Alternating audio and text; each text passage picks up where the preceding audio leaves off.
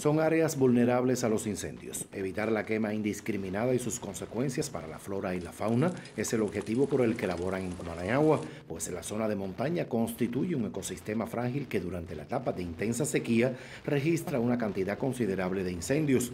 Cumplir las estrategias en cada lugar puede ser la clave del éxito. A través de los puestos mandos de las empresas, que le controlamos los planes de protección contra incendios forestales, y por ahí evaluamos el desempeño de cada una de las empresas, además de tener activada la brigada profesional del cuerpo de guardabosque y tener contratada en el entorno 27 fuerzas auxiliares que se contratan para reforzar el sistema de aviso propio del cuerpo de guardabosque.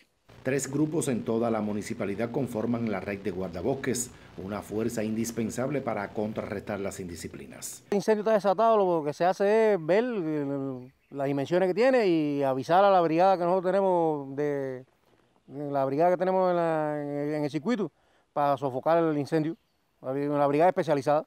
Concientizar a la población sobre este flagelo por lo peligroso y costoso que resulta es el llamado, pues el arma más poderosa que dispone la sociedad ante los incendios es la prevención y percepción de riesgo del pueblo.